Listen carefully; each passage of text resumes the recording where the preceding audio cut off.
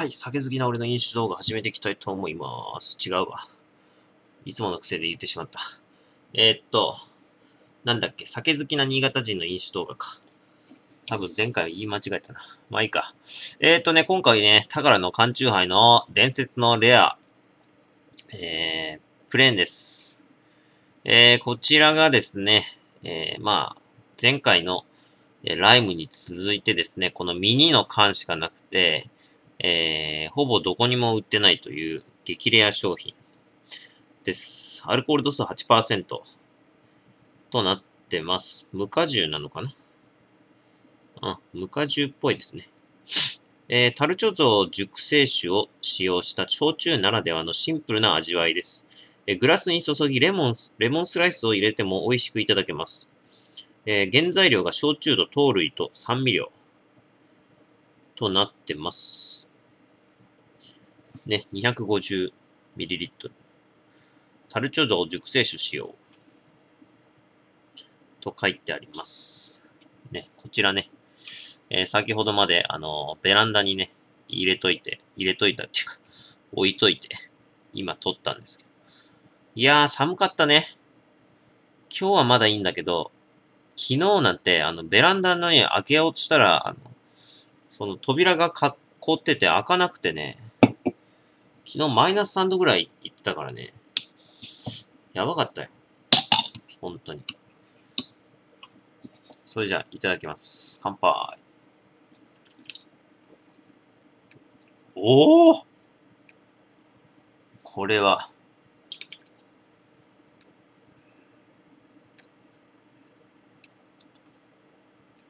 うわすごい。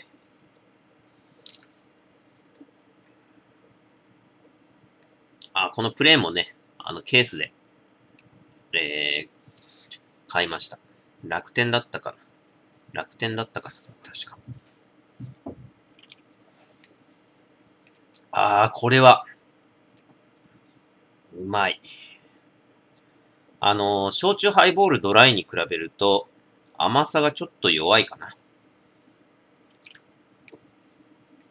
甘さが弱くて、あのー、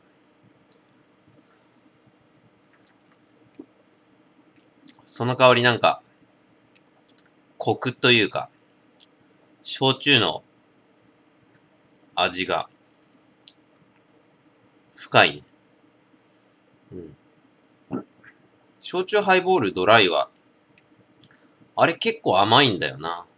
うん、ドライって言うけど、実際飲んでみると結構甘め、甘めなんだよね。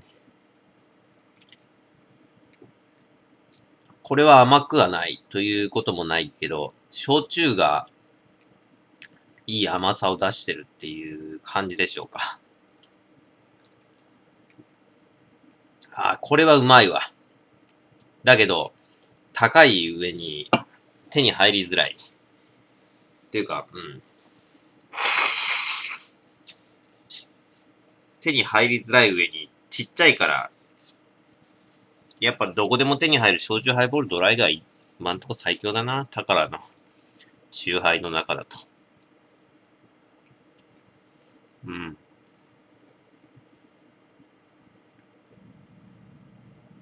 これに、レモンを絞ると、缶酎ハイのレモン味になるのかな？結局。レモンスライスを、まあ、レモンスライス、うん。入れても、うん。それうまいかもね。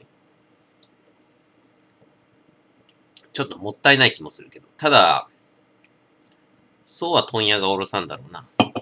多分、レモン、レモン果汁をちょちょっと入れて絞って、レモン絞って、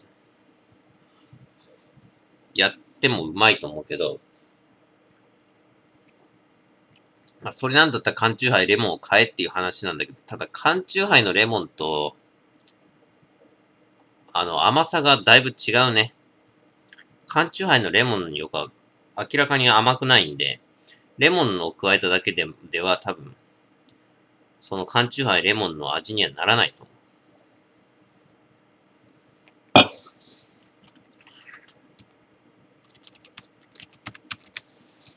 さすがにね。うん。多分カロリーの意味で、カロリーがね、もうそもそも違うんだ。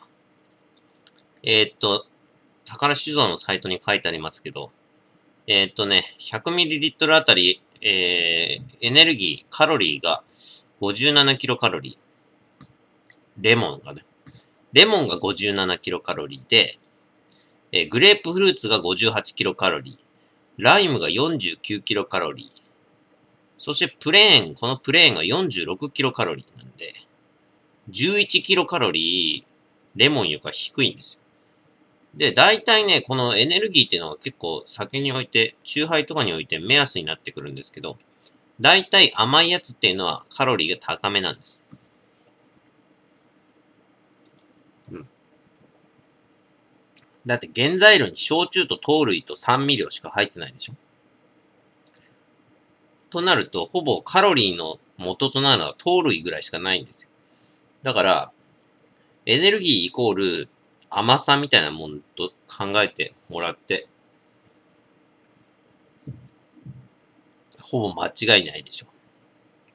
まあ、これに甘味料が加わってると、またそこら辺がごっちゃごちゃになりますけど、まあ、俺基本的にチューハイはかあの、甘味料使ってるやつは、まあ、基本買わないん。気になるやつ以外はもう、絶対買わないんで。まずいから。うん。ああ、これはうめえな。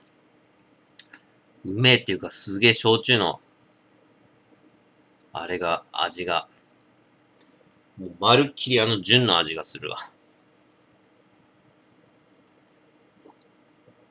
でも、ぶっちゃけこれ飲むんだったら、純を炭酸で割った方が早い気がする。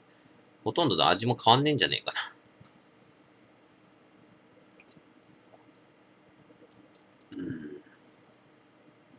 まあでも俺、宝焼酎大好きだからね。宝酒造の。宝酒造の、ね。あれは、酎ハイは大好きなんで。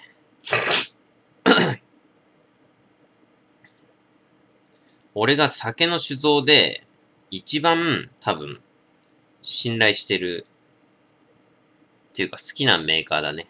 宝、宝はね。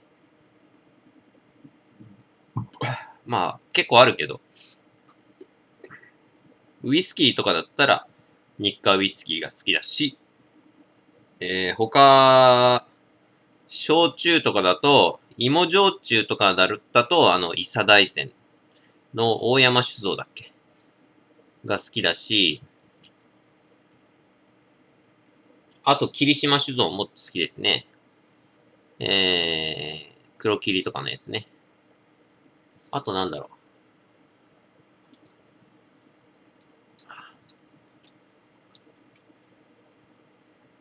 あとなんかあるかな。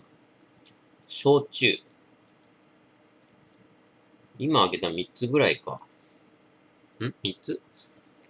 宝と日課と大山酒造と霧島酒造4つか。こんぐらいかな。パッと思い浮かぶ。俺が大好きな、信頼しているブランド、酒ブランドはね、あと、日本酒で行くと、あ、あれか。八海山。八海山酒造。ん八海山酒造だっけ？八海醸造だっけ？八海山のとこですね。でも、八海山もあんまり飲まないからな。やっぱ一番なんか宝が一番飲んでる気がするわ。日課と。日課ウイスキーと宝酒造が多分一番、あの、消費してるから、一番馴染みがあるね。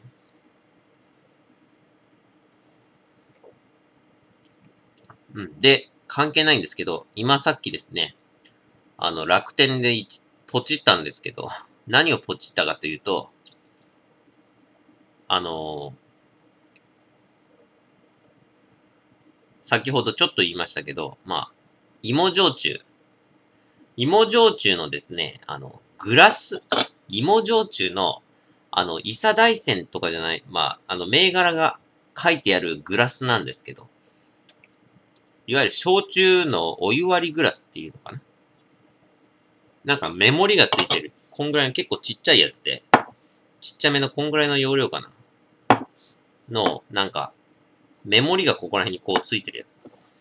を3つほどポチって、えーっと、島美人っていう芋焼酎と、あと、三竹っていうしょあの芋焼酎の2つのちっちゃいグラス、こういうお湯割りグラスっていうらしいんだけど、結構あの、あの、鹿児島とかた、あの、きょあのね、九州のあたりだとね、一般的らしいんですけど、こっちには全く普及してないからね。で、あと、もう一つ、ロックグラスで、島美人のロックグラスをね、あの、ポチったんですけど。久々に焼酎飲むか。芋焼酎な。最近缶チューハイとかばっか飲んでるからな。芋焼酎全然飲んでない。全然飲んでないどころか、もう、ここに黒霧のね、あの、一升瓶がね、未だに残ってる。これ、1年前ぐらいから、まだ飲んでないんだけど。うん、芋焼酎はね、基本的にね、俺、うん、一般的に黒霧島か、あの、伊佐大山しか買わないんですけど。ほぼ。ほぼ間違いなく黒霧と伊佐大山しか買わないんですけど。やっぱね、買うとしたら 900ml のやつの方がいい。俺そんなに飲まないし、しかもの、あのでかいとね、その、こんぐらい残ったとするでしょ。ま、残ったら、半分ぐらい残ったら、この部分の、その空間が、で、にほ、の方に香りが飛ぶんですよ。それで、結果としてその半分の部分がまずくなってくるんで、あの、焼酎、芋焼酎もね、結構香りが命なんで、どんどん飛んでくんですよね。やっぱ一番いいのがコンビニに売ってるあの、200ml ぐらいのあのちっこいあの、パックのやつ。パックっていうか、あの、な、なんだ。ね、あるでしょ。ああいうちっこいやつ。あれで飲むと、すごい美味しい。俺、芋焼酎で初めて飲んだのが、黒霧島のあの、ちっこいやつだったんですけど、むちゃくちゃうまいね。うん。やっぱ香りがぶっ飛んでないだけあって、すげえ、うまい。うん。で、さらに突き詰めると、瓶ではなく、あの、パックのやつの方がなんかいいらしいっていうのは聞いた。こういう紙パックのやつ。紙パックのこれ、ブラックニッカクリアの。未だにクリアブレンドの、ブレンドの方です。ここにちっちゃくブレンドって書いてあるんですけど。これ今、ブラックニカブレン、クリアブレンドではなく、クリアになってますからね。これあの、レアです。レアだったんで買ったんですけど、別に味に違いがなかったんで、どうでもいいや。残ってるんだ。あのー、なんでパックの方がいいかっていうと、結局、あのー、蛍光灯とかの光でも劣化するらしくて、うん。まあそこら辺は気持ちなんですけどね。まあ、劣化しにくい、その紙パックの方が遮光されてるからっていう話なんですけど。まあ。ということです。ということでね、缶チューハイのね、えー、プレーンなんですが、まあ、これは、うーん。まあでも、これだけ飲んでも美味しいし、あの、ライム絞ってもいいし、レモンを絞ってもいいしっていうことになると、やっぱり汎用性が高いんだけど、うん。高いんだけどもだ。普通に考えて言うと、純の、この宝酒造の純のソーダ割りをした方が早いんではないかというか、安いんだよな、絶対な。と思うんだよ。これ結局原料使ってる。これの、これの原料はこれだからね。だから、うーん、という感じですけどね。ちょっと微妙ではあるななんか思った以上に、純と何にも変わんない気がするなっていう味が。うん。焼酎の純と飲んだ感じ、ほとんど変わんない。うん。味がね、変わんなかったんで、まあ微妙ではあるけども、まあ、まあっていう感じですね。結構微妙ですね。なんだか、なんだかんだなんか微妙だな。まあいいや。いいや。もうケースで買っちゃったしな。別に宝酒造好きだから買っちゃってもいいんだけど。まあまあ間違いなくこれ店で売ってるところないと思うな。うん。少なくとも。ほぼないと思う。コクはね、結構あんだよ、コクは。コクはあるんだよ。これ。驚くべきことに。焼酎のコクがね、すごいあるんだよ。で、甘みもね、案外あるんだよ。案外あるんだよ、甘みも。それなりに。で、まあ、香りもまあ、それなりにあるかな。まあ、おすすめはまあ、これはまあ、うん。まあ、俺、宝酒造好きなんで、まあ、買ってもまあ、問題ないけども、ただ、これはまあ、二度と買わないでしょうね。うん。値段高いから。うん。間違いなく。ということで、四つ星です。ご視聴ありがとうございました。